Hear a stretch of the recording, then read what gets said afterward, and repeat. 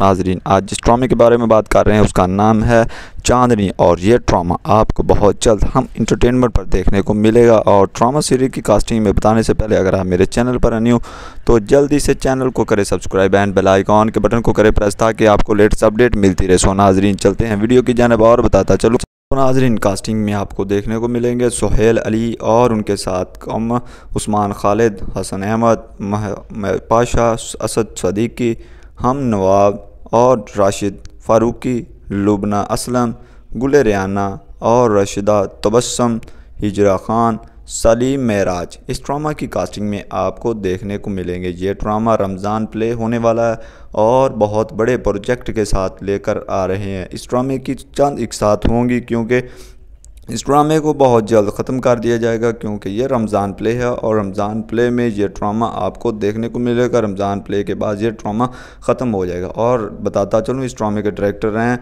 सुहेल अहमद और इस ड्रामे के राइटर हैं अहमद नवाज़ और इस ड्रामे को ट्रैक्ट कर रहे हैं अहमद सदीकी। और इस ड्रामे को हम इंटरटेनमेंट लेकर आ रहा है। बहुत जल्द ये ड्रामा आपको देखने को मिलेगा। रमज़ान प्ले के चंद ड्रामे चल रहे हैं, उनमें ये भी बहुत ज़्यादा हाइप के साथ आ रहा है और बहुत ज़्यादा मकबूल होगा। आपको ये वीडियो कैसी लगी? कमेंट करके ज़रूर बताएँ। थैंक